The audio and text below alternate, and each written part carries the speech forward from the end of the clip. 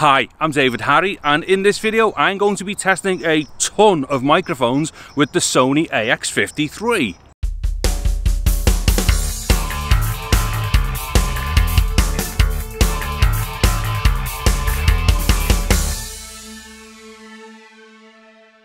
Okay, so what it is, I'm going to be testing a ton of microphones and a couple of them in different configurations. So what I'm going to have to do with this one is put a list in the description of the microphones that I'm using. And the main reason for that is, is because I forgot what I brought out. So there'll be a list of the microphones used uh, and if one of them or two of them have been used in different configurations, I will make a note of that. And I'll also have like a point in the timeline where you can go and like see them in the video. Also, there'll be links to like where you can go buy them and stuff like that.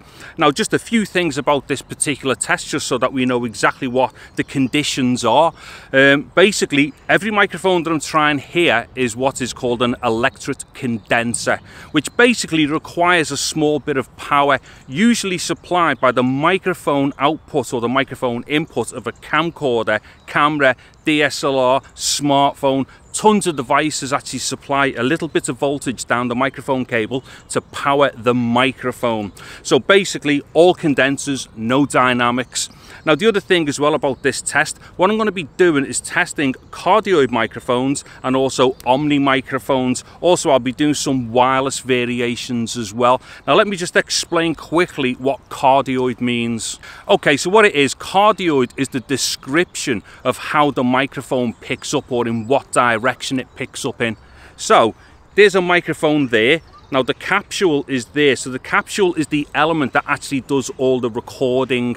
Now what happens is, if you can imagine a bubble in front of the microphone here, just a big bubble, well in that area, that's where the microphone or a cardioid microphone has its kind of sweet spot for picking up. And then the further away you get away from that bubble, like it's like less sensitive if you come to the sides of the microphone, it's less sensitive.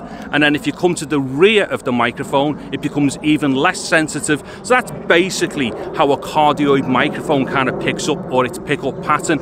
And weirdly, we've got a plane up in the air right now. So although the plane is up in the air, it's that way in front of the microphone. So it will be picking it up, but it should be picking me up even more. Okay, so that's the basis of what a cardioid microphone is. The other thing that I'm going to do here is every time I put a different microphone on, I'm going to manually set its input level. So basically, I'm optimizing the gain per microphone and then when I get into post-production because their microphones will be different levels even though they look the same on a VU meter what will happen is they will sound some of them will sound louder than others just different microphones like kind of like pick up different energy and stuff so even though they might look the same going in they actually may sound different coming out as far as volume is concerned. So what I'm going to do in post when I do the edit, I will just basically level them out so they're roughly there thereabouts the same. So not one mic jumps out over another.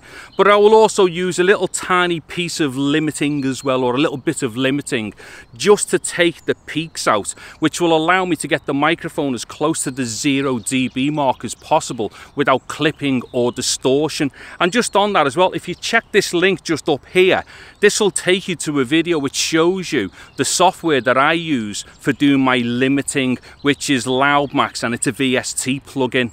Now after I've done the limiting and such, I will not be touching the sound of the microphones, anything beyond that. So I won't be applying any EQ, which is like bass and treble, none of that, because I just want to give you the best possible opportunity to kind of judge for yourself whatever differences that there are with these microphones. Now just a quick note on the picture settings as well for this particular test.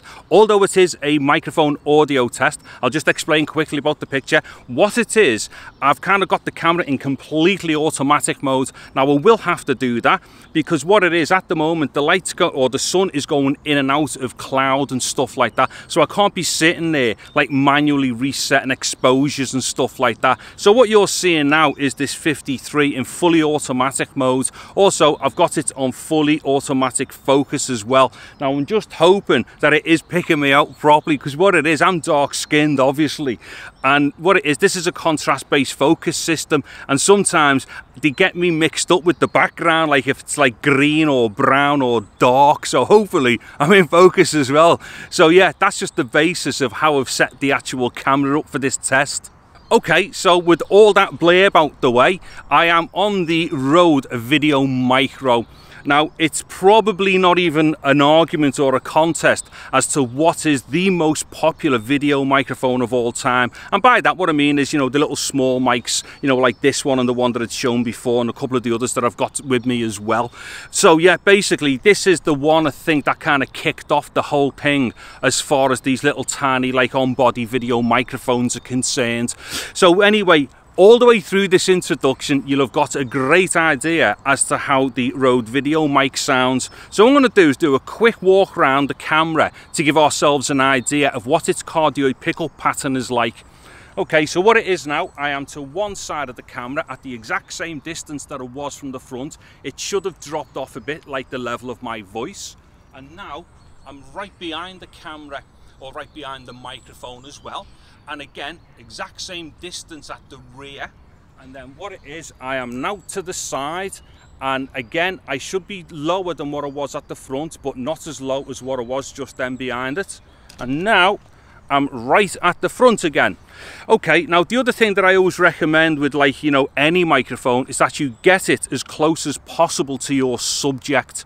Now the reason why you do that is because if you don't you're going to have to start like gaining and gaining with the microphone and inevitably what that will do it will bring in hiss and stuff. So the closer you get to a microphone the better your signal to noise ratio is going to be and also the better the sound's going to be because the microphone or the capsule doesn't have to work so hard at picking up what's in front of it.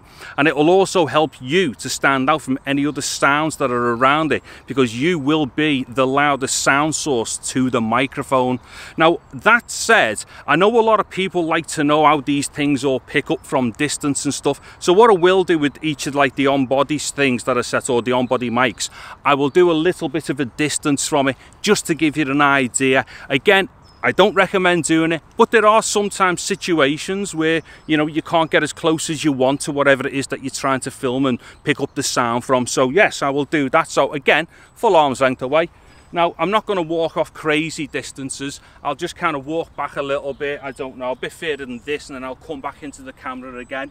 So yeah, I think, I mean, this is probably going to be far enough away because yeah, it's just going to keep dropping and dropping the further I go back. In fact, let me see if I can try and remember this mark because I'll, I'll, kind of come up to here with the other mics. Okay, so I'm going to come back in now, and as I'm coming back in, you'll see that I'm getting louder. Now, again, what I'm not going to do there in post, I'm not going to raise the level any further to bring it back up in post. It's just going to be the same level, so we, will get a definite idea of how the drop-off happens like that.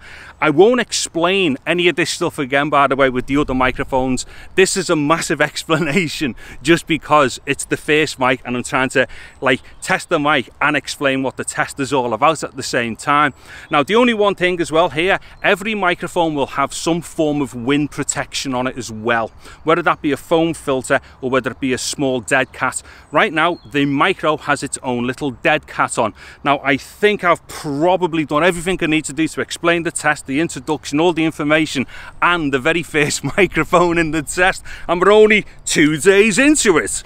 Right, so what I'm going to do, I'm going to step out the frame and I'll just go quiet. Now what it is, what we're testing for here is inherent noise. So we are going to hear sounds when I'm when I stop talking and go out the frame.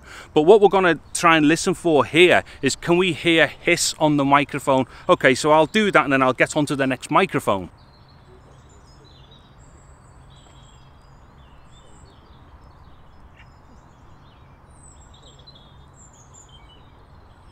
So I'm now over onto the Movo VXR10.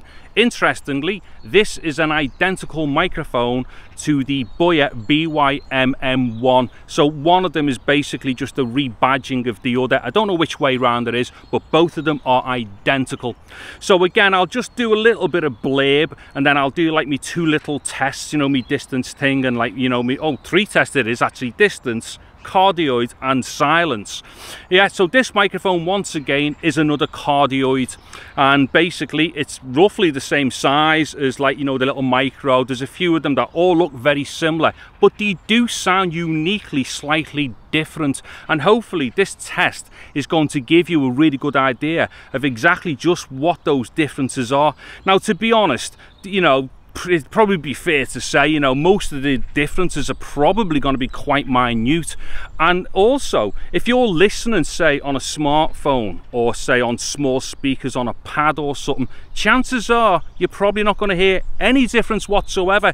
So the best way to kind of like, you know, determine the differences for tests like these or any other similar tests like this that you might see on YouTube is to use a good pair of headphones or listen properly on speakers and stuff. Because like I say, you know the differences can be very small so you probably won't hear any difference on a phone. All right so what i'm going to do now i'll uh, i'll just walk off and talk a little bit and uh, see if i can try and remember where i marked the grass before. Okay so again same thing. It is going to drop off as i start walking backwards um, I'm having difficulty now working out where to put that. Oh, there it is. Right, so this is as far back as I went before. Right, do you know what? It's not that obvious. And I'm not going to wreck the grass when I'm doing this because it's been raining. and The grass is a bit wrecked anyway. Okay, so I'm going to walk back towards the camera and we'll get an idea of exactly, you know, what the difference is as I walked off from it. Again, and I'll probably reiterate this a few times as I'm going through because that's what I do. I'm dead boring like that. But I wouldn't advise doing that get as close as you can it's going to work best. Also as well this microphone is using its own dead cat as well which comes with it in its package. Okay so now what i'm going to do is my little like walk around and test for the cardioid pattern. So once again i am to one side of the microphone full arms length away as i was from the front. We should notice a bit of a drop off in in like how loud i am. Now i'm right round to the rear of the microphone again exact same arm's length distance and we should notice a bit more of a drop off as well. And then round to the other side and that should really be similar to when it was on the other side again a bit lower than what it was from the front. And then finally back round to the front again. Okay so what I'm going to do now is step out of the frame do a bit of silence and go to the next microphone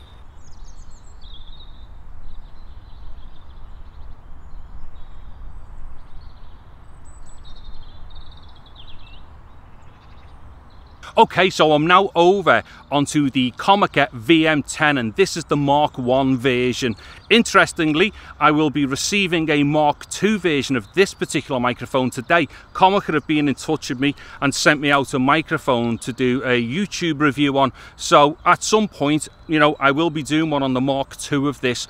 Also as well, I've done videos with all of these microphones before, so there will be some things pop up here every now and then, uh, linking to say, say like other videos where you might want to go and have a listen to, you know, other things I've done with these mics. And also there'll be links in the descriptions as well and stuff like that for anything that I can come up with that might be of interest to people as I go through each of the microphones anyway.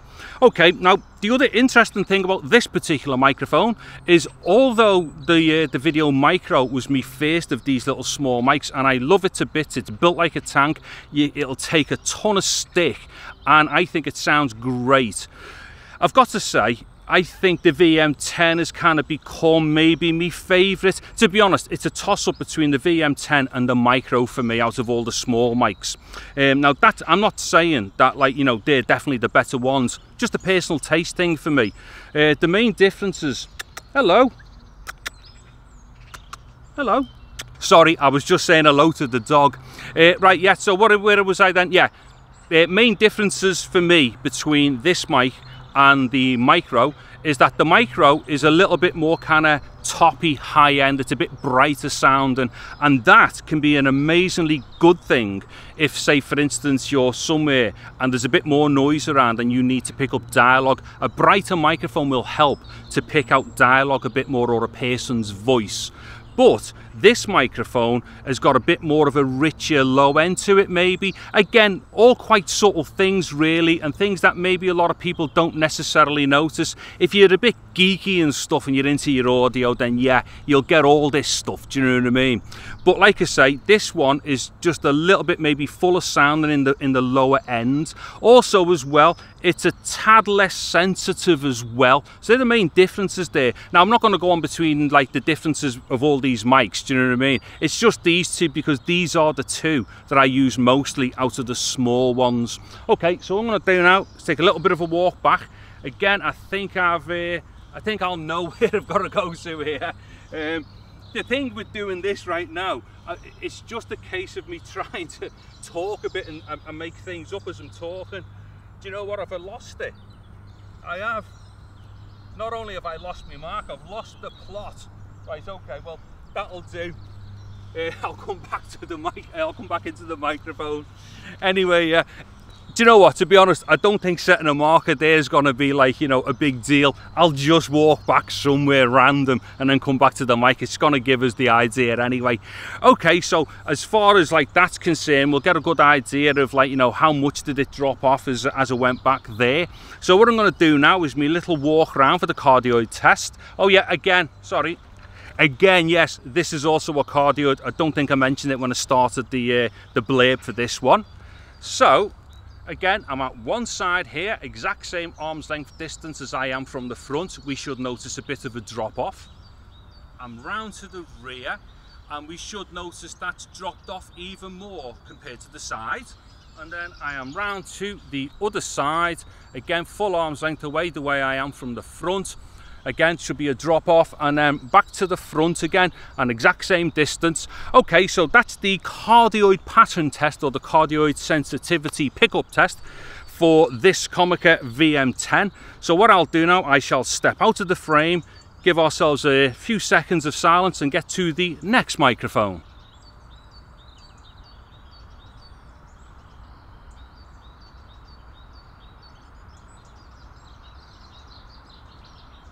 I'm now over onto my Sennheiser ME64. Now this is actually my favourite microphone for doing dialogue stuff and I use this indoors and outdoors and it's fantastic. Again, it's another cardioid, but this one is a bit different than the others because them other microphones, they're like, they kind of cost between 40 to 50 pounds, 40 to 50 dollars. Uh, this particular microphone costs about 300 to 350 pounds or dollars so it is a very different kind of price bracket but it's got a ton more advantages compared to the others. Um, it's a lot more sensitive. It's got a better frequency response range. It can handle dynamics better. It can handle sound pressure levels better. It's just all round a much better microphone. But do you really need something like this to just do this vloggy type stuff with? Now, that really is debatable because if you can use any microphone, get out, pick up your dialogue and it sounds clean and it's understandable that's job done. So whether you do that with a 40 pound microphone or a 300 pound microphone or $40, $300, it really doesn't matter as long as you've captured your dialogue better, you know, or better than like an internal microphone would do. So yeah, I'm only putting this one in just to give you an idea of how like a more expensive microphone would sound to like the more budget ranges that I've just been using. Okay, so what I'll do, I'll do a bit of a walk-off test with this one as well. Okay, Ah, actually, one other thing, this particular microphone is self-powered as well. So unlike you know the other ones just then which take their power from the camera itself through the microphone cable this one you put a little battery in it. Reason for that is is although this is also an electret condenser type capsule in it like exactly the same as the other microphones this one requires a bit more power. So what this one does inside it when the battery goes in it has electronics inside to like boost up the power to a higher voltage because the capsule on this one requires a higher voltage. So that's like the main difference as well you know between this and the others. Okay so I'll do me little bit of a walk off thing. Again you know I wouldn't recommend it. Even with this microphone I wouldn't recommend it because it's it's just not how you do it. Um, but like I was saying earlier on you just may not have an option. You may just have to like you know be far away from the source of audio that you're trying to record. You could be out somewhere and you might be trying to film something. You might be behind a barrier and there might be something going on in front of you and you can't get that close that is when you've got no option and you've got to like you know film and like record from a distance anyway so that'll give us an idea as to how the ME64 was at that distance there again I'll come round the side there so I'm off to one side here, so we'll see what the drop-off's like with that. And then I'll come right round to the rear. Now that should have dropped off even more. And then I will come round to the other side and then that should have been like well this should be a bit louder than what it was just then at the rear and then I come back around to the front again and again this should be the loudest point where the microphone's going to pick up or it's like its healthiest pickup is right in front of it one last thing to mention about this particular microphone, uh, I don't have a dedicated dead cat for it for when it's mounted on a camera like this. So what I've done here, I've used the dead cat off the Rode Video Micro. Now what I will do is step out of the frame, do a little bit of silence with this and then carry on with the test.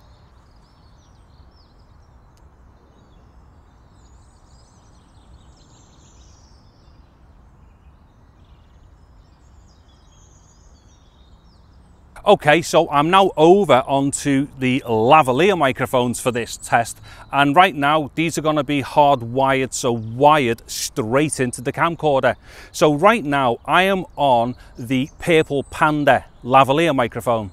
Now what it is, this one is an omnidirectional microphone. So whereas earlier on I explained the way a cardioid works, where it basically picks up a bubble pattern in front of it. If you could imagine this sits right in the middle of a bubble. So basically this will pick up from every conceivable direction. And because of that, it does have a different type of tonal characteristic or lavaliers in general will have a different tonal characteristic compared to say a shotgun microphone or a video microphone or a cardioid on top of a camera. So this is just going to give us a really good idea as to how this microphone sounds. Again, the Purple Panda. Now what it is, I'm using this one because this is about as cheap as you can go for a lavalier, um, which has got a, like a name brand.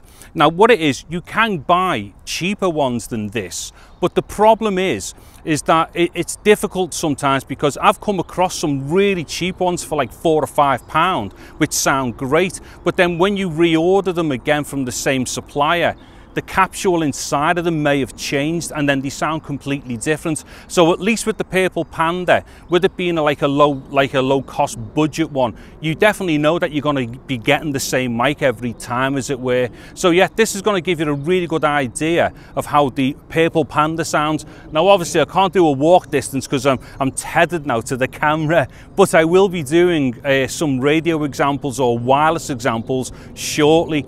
As for doing, um, do you know what? I'll do a silence test by just holding the microphone away from me so I don't interfere. So silence test and then on to the next lavalier.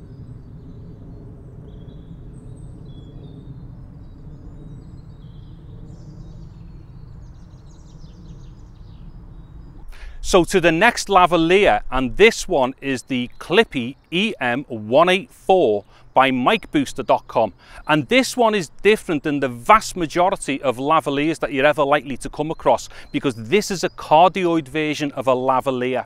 Now, the reason why you might want to use a cardioid lavalier is because you might be somewhere where there's just a ton of noise and the cardioid pattern of this particular lavalier will help to pick your voice up a lot better because one, you are closest to it as the sound source, but two, it is a cardioid. Now don't get me wrong, an Omni lavalier will generally pick you up better anyway because it is closer to you, but in certain instances where there's a lot of noises going on, you might need a cardioid. Now, the only thing with cardioid lavaliers is they tend not to sound quite as rich as omnis. So there's a bit of a trade-off between, say, cardioid and omni as far, well, cardioid and omni in general, with any microphones, there's a trade-off. But with lavaliers, maybe a little bit more of a trade-off. But nonetheless, it is definitely a microphone that you would definitely need at some point, dependent upon like where you're recording and whatnot and what's going on around you. So this will give you a really good idea as to what a cardioid lavalier sounds like. So what I'll do, I'll hold it out and do a little bit of a silence thing and then I will get on to my favorite lavalier of all time.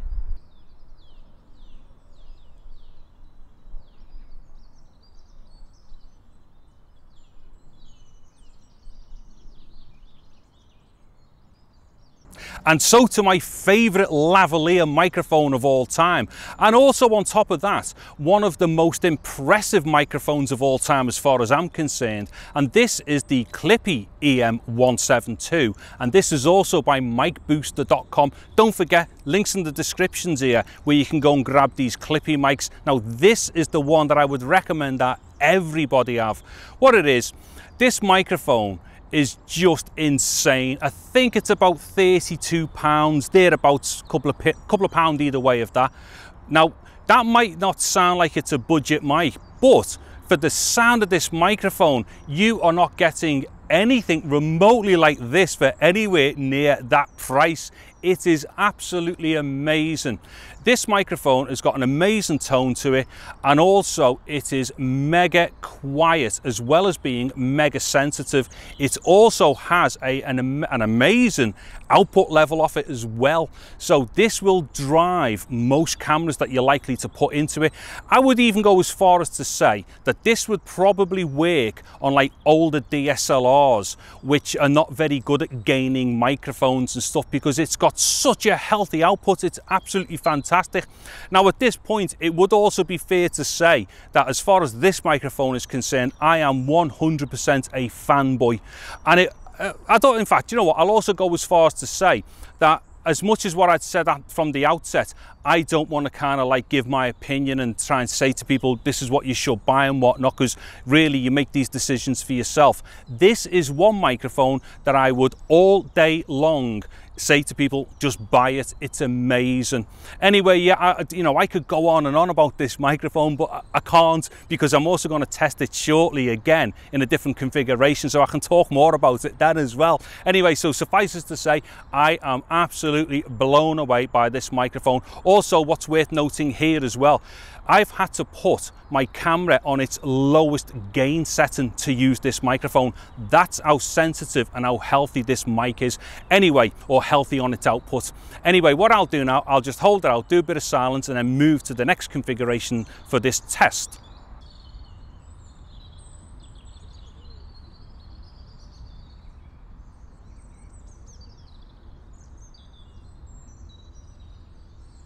So to the first of two examples of using wireless systems. And in this first one, what I'm doing is pairing up two things here, which are not kind of like sold together. And the first one is the Purple Panda lavalier, but I've now paired it up with a Fifine K037 wireless system. Now what I've done here, although you can do this configuration just with converter cables, for the sake of convenience, I've done a modification to the transmitter and the receiver so that I can just directly plug in 3.5 millimeter stereo microphones. But you can do this with, with just using like a couple of converter cables. But this is the best sound I've ever heard on any budget wireless system just by combining this microphone with this wireless set. Now what I'm going to do is just walk around a little bit just to give ourselves an idea of what its range, well I won't do a range test sorry, I'll just walk a bit just so you can see the flexibility of using a wireless system. Now the main reason why you'd want to use a wireless system maybe is because the people that you're recording or the person you're, you're recording is moving about quite a bit and maybe they're a bit of a distance away from the camera. I mean, like I was saying before, when you're using a tethered microphone or something that's even like, you know, lobbed on top of the camera, it's going to be very difficult to get decent dialogue uh, from like people who are far away from the camera that is when a wireless lavalier really does come into its own. And like I just said, this is quite possibly like the best sound and budget system ever. I think the uh, I think the K037 system is about 30 40 pounds dollars. And like you know like i said i, don't know if i mentioned the actual price of the purple panda before because this does fluctuate a lot. But i think if you give yourself say 20 25 pounds dollars for this lavalier then that's the kind of price range that you're looking at to create a system like this. And then maybe you're gonna have to spend 10 pounds dollars to do the conversion or get the converter cables you know so you can plug the mic in and then also plug the receiver into the camera. The thing is because i've been talking so much this morning i'm starting to forget i'm starting to think about things to say i'm running out of stuff to talk about which is pretty ironic for someone like me because i just love the sound of my own voice and usually don't know when to shut up. Anyways yeah so what i'm going to do i'll come back to the camera. So once again this is like just a really good example of a very budget system. I think you could probably put this together for thereabouts 50 no about 60 70 pounds dollars thereabouts. And like you know i don't think you're going to get anything better. The only thing is this is a analog system so this i think this uses vhf or uhf radio frequencies which is brilliant. It'll work in this area. Uh, and it'll like, it'll sound great and stuff. But what I'm going to do shortly is switch over to a digital system and I'll explain what that is when I get to it. Anyways, what I'm gonna do, uh, I'll do a bit of a silency thing with this as well because although we've already heard like what the self noise would be like uh, with the purple panda on its own you know once you start adding like radio systems in the equation and stuff like that it does make a difference so i'll do the silence thing and then i'll move on to the next configuration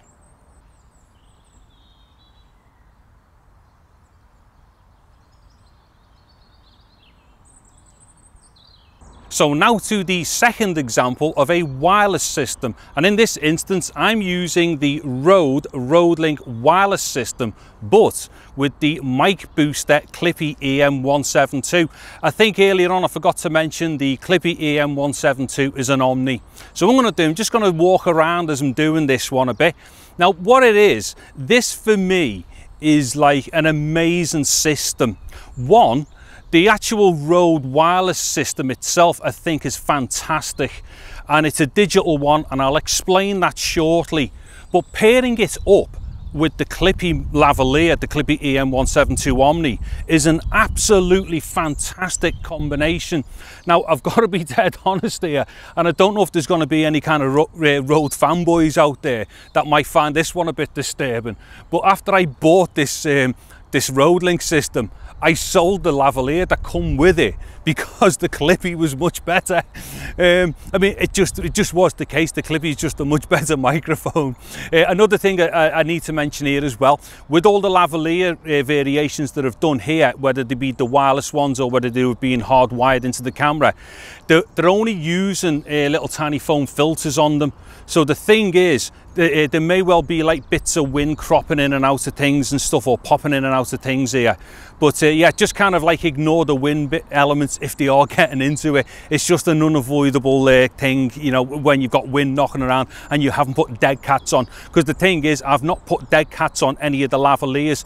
Main reason for that is is because dead cats do tend to impede sound quite a bit um, especially and well in my opinion especially on lavaliers I've had to use them when I've put the, uh, you know, the mics on top of the camera and such. And the reason for that is because foam filters definitely would not have been an option with this slight breeze that I've got going on. So I've had to put the dead cats on you know, with the little video mics and such, it, it just, it wouldn't have worked. Otherwise, it would just would have been bumps everywhere from the wind. Anyway, I'll just carry on walking around a little bit more. Now, what it is, as I was saying before, this is what is called a digital system. So although it does obviously use, um, you know, analog frequencies or radio frequencies to transmit the audio data from the, uh, from the transmitter to the receiver, what happens here the transmitter actually turns the audio information from the analog microphone input into a digital bit stream. So basically what it does, it does what's called an analog to digital conversion. So in that instance, you're then dealing with just zeros and ones in the digital domain. Then what it does, it uses the 2.4 gigahertz radio frequency, which is similar to a lot of wireless devices, to transmit or to bit stream all them zeros and ones over to the receiver. And then at the receiver end, what happens there? That then basically does the opposite, which is digital to analog conversion. So we can get it back into the analog domain for it to go into the camera. Now, despite all of that funky stuff going on, and like the camera also then does a analog to digital conversion once again when it hits the microphone input, I think this sounds amazing. Uh, there's advantages and disadvantages to both using uh, wirelessly, uh, sorry, digitally transmitted signals on 2.4 gigahertz compared to UHF and VHF. Both of them have got plus and minus points, but for things like this, both of them are going to be fine. It's usually things like obstructions, getting, you know, walls, trees, stuff and whatnot. But if you're in direct line of sight uh, on either a digital or an analog system, and like you know you're within like the specified ranges of the actual radio systems themselves. You'd be fine all day long with them. It's just down to then like cost and preference to tone and such and whatnot. Anyway i've rabbited on a lot here. So what i'm going to do now is do the little silency thing with this and then i will get to the very last test outdoors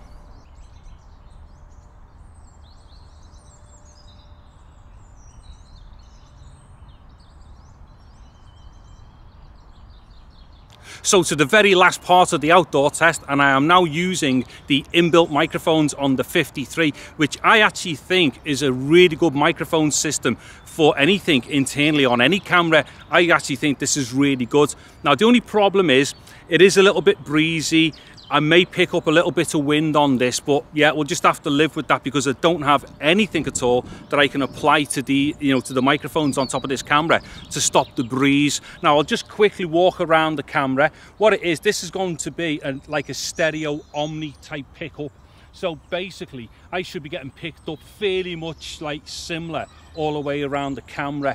That shouldn't really drift too much as it was going round, or at least I don't think so, because my assumption is, is that the two Omnis that are in it I doubt very much the two cardioids. But anyway, that just gives us an example of the internal microphones. So what I'll do, I'll again, last thing, I'll step out the frame. Let's listen for like, you know, the, the, the noise and during the silence section.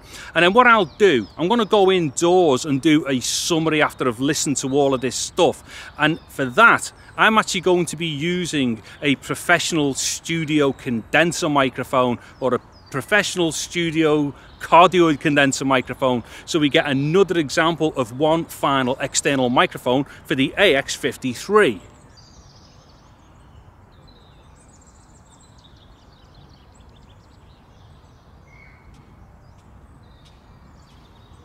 Okay, so to the last test microphone, and I'm doing this indoors with a traditional studio condenser microphone.